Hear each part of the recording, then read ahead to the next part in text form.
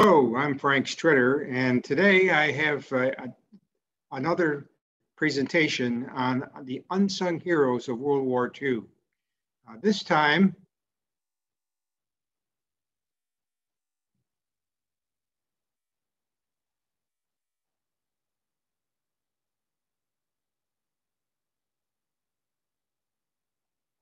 Our topic is the Tuskegee Airmen. I want to start today with a true false question.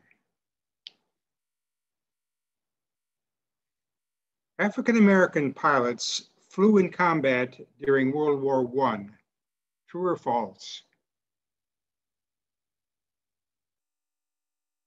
Have you got it? Okay, the answer is both true and false no African American pilots actually flew for the US Army Air Service during World War I. But Eugene Bullard, and you can see him here in the photograph, who was an African American from Georgia, flew a fighter plane for the French Air Service from 1916 to 1917. So you can have it both ways. It was not until World War II that African American flew in combat for the US. In this presentation, I'm going to discuss the first such military unit of African American pilots, the Tuskegee Airmen, and the individual who commanded that first unit, the 99th Fighter Squadron, General Benjamin O. Davis Jr. The 16 million men and women who served in the US Armed Forces during World War II included more than one and a half million African Americans. However, all members of the US military, as members of the US military, those African Americans encountered unequal treatment and limited opportunities for promotion and transfer due to the racial segregation practiced by the military, as well as the entire nation at that time. As a sad reflection of the times, a War Department study in 1925 stated that Negroes did not have the intelligence, the character, or the leadership skills to serve in combat units and particularly not in Army Air Corps units. The 1940 United States Selective Service and Training Act outlawed racial discrimination but African Americans were still not were still accepted for the military only if openings in units and training facilities specifically designated for their racial category existed. Since most US military bases did not have additional segregated facilities, such as housing, only half of the African American volunteers and draftees were inducted into the military at that time. Those who were inducted were usually assigned to large units whose members represented a wide range of skills and levels of formal education. All of them were made to work separately from white soldiers, received medical treatment from separate blood banks, hospitals, and medical staff, and socialized only in segregated settings. If they left their bases, they usually experienced hostility from local white civilian communities. In 1912, Benjamin O. Davis Jr., the first African American to command an Air Corps unit, was born in Washington, D.C. to General Benjamin O. Davis Sr., the first African American general in the U.S. Army. Davis Sr. had served with the 9th Cavalry, one of the original Buffalo Soldier units of segregated African American troops. He qualified for his commission while in the 9th and then served in various Army capacities until his retirement in 1948. In 1936, Davis Jr. attended and graduated from the United States Military Academy. He was the fourth African American to graduate, the first in the 20th century, and with a rank of 35 in a class of 275. His four years at the academy were not pleasant. Because he was African American, he was officially silenced by all other cadets. This means that no one spoke to him for his four years there except on official business. He roomed alone and he had no friends.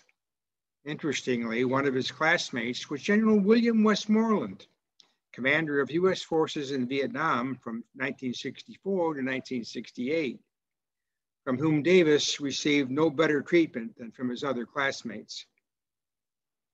Davis had applied for assignment to the Air Corps while at West Point, but was rejected and told that there were no places for African Americans in the Air Corps. To avoid the situation in which a black man commanded whites, something the Army considered untenable, Davis was instead assigned to the, an all black service unit, the 24th Infantry Regiment at Fort Benning. There, he was not even allowed into the base officers club. He would regard that snub as one of the greatest insults in his 37 years of military life. African Americans had applied to be aviators during World War I, but all were rejected, largely due to the racial prejudice prevalent at that time. In 1939, the NAACP and several newspapers began to lobby the War Department and the Roosevelt administration to accept Blacks in pilot training. Even then, the Air Corps remained opposed to admitting Black recruits. But in 1940, Republican presidential candidate William, correction, Wendell Willkie promised to desegregate the military, motivating his opponent, then President Franklin D. Roosevelt, to authorize the enlistment of African American pilots. This was one among other modest civil rights concessions aimed at keeping the African American vote. On 16 January 1941, the president announced that an all African American fighter plane unit would be created at the historically African American Tuskegee Institute in Alabama. In 1940, Davis happened to be assigned to teach the ROTC curriculum at Tuskegee. In 1941, it was heard, unheard of that African Americans could be a military pilot before the Tuskegee Airmen appeared on the scene. But then on 19 March, the Army Air Corps established the segregated 99th Pursuit Squadron and an experimental training program to supply pilots for it at Tuskegee. Early in 1941, before the first cadets even arrived, the program got a publicity boost when First Lady Eleanor Roosevelt was taken up in a plane by C.A. Anderson, an African American aviation pioneer who was Tuskegee's chief flight instructor. Nevertheless, many top military officials, including the Secretary of the War Department, not surprisingly, expected the Tuskegee experiment to fail. Later in 1941, Tuskegee's first class of 13 pilots began the training program with five, five of the 13 successfully completing the challenging training program nine months later. Davis still wanted to fly, applied for, was accepted, assigned to that training class, completed it successfully, and became a Tuskegee Airman. In 1942, he became the first African American to solo in an Army Air Corps plane. Having been promoted to lieutenant colonel six months shy of his 30th birthday, Davis was assigned command of Tuskegee's 99th Fighter Squadron, the first unit of Tuskegee Airmen. In early 1943, Davis took the 99th to North Africa and then later to Sicily, where it flew P 40 Warhawk fighters in combat from April 1943 into July 1944. And later in 1943, Davis was recalled to the States to assume command of the 332nd Fighter Group, a new unit of Tuskegee Airmen preparing for combat in Europe. Davis moved the, the 332nd to Italy in February 1944. The 99th Fighter Squadron that was already there was soon integrated into the 332nd Group. And for those of you who don't know the organization, uh, there are several squadrons in a group, so this was a larger assignment for Davis.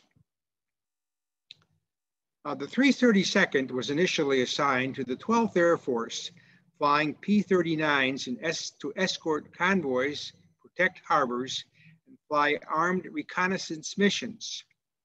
The group converted to P-47s early in 1944, and then to P-51 Mustangs in June of that year.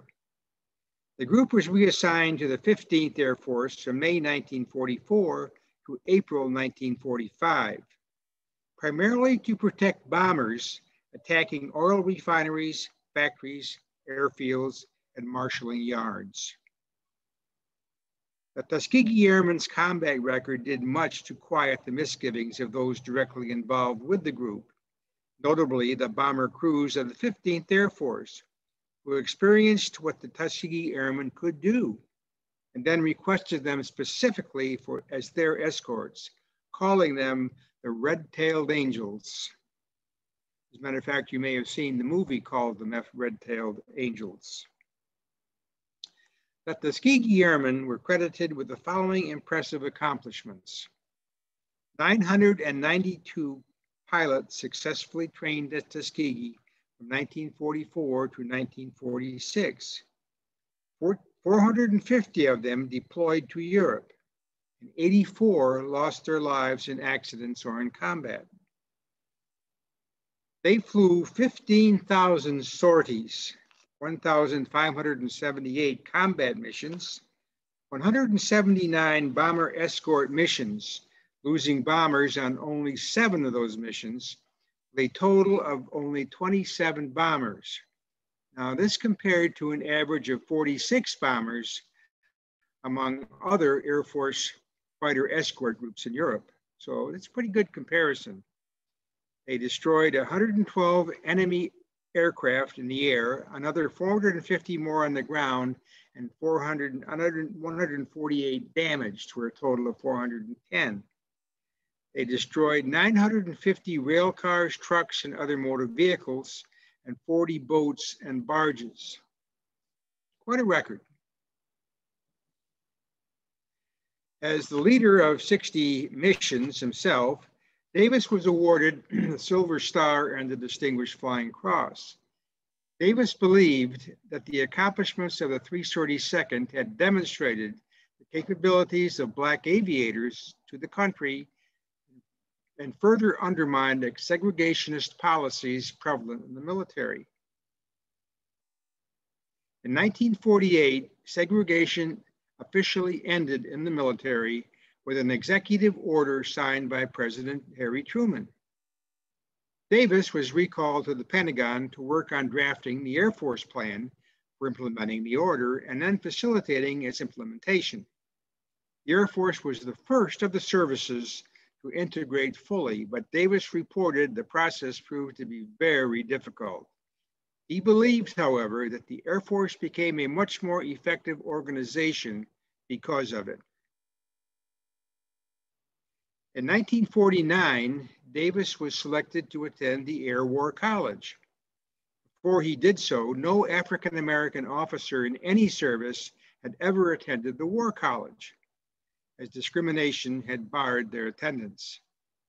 Even while attending the Air War College in Montgomery, Alabama, Davis and his wife Agatha were not allowed by locals to eat in most area restaurants. In early 1953, Davis was sent back to the Pentagon for a short time, where he helped to organize the Air Force demonstration team that became known as the Thunderbirds. In later 1953, the Air Force assigned Davis command of the 51st Fighter Interceptor Wing in Korea. There, he flew the F-86 Sabrejet and successfully supervised a wing of thousands of airmen, almost all white. In 1954, Davis was transferred to Japan, where he served as Director of Operations and Training for the Far East Air Forces.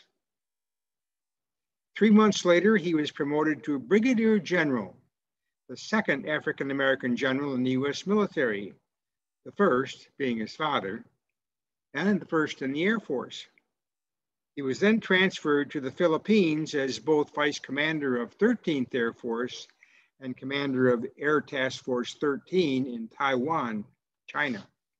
There he built a defensive air force to deter communist forces on mainland China from launching attacks on Taiwan, a major undertaking. In 1957, Davis was assigned to be Chief of Staff of 12th Air Force in Europe. He then returned to the United States where he, we held, where he held various task positions until 1967, when he was assigned command of 13th Air Force. That included more than 55,000 servicemen all over Asia, including many thousands who were flying in the Vietnam conflict. He held this post through 1958. His last assignment was at MacDill Air Force Base as Deputy Commander of Strike Command, with additional duty as Commander in Chief of Middle East, South, Southern Asia, and the African regions.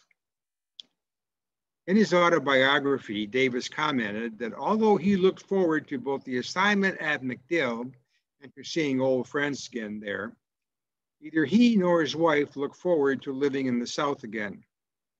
In his assignments overseas, they had both experienced freedom, equality, and friendship, qualities of life that were often missing in his assignments in the United States.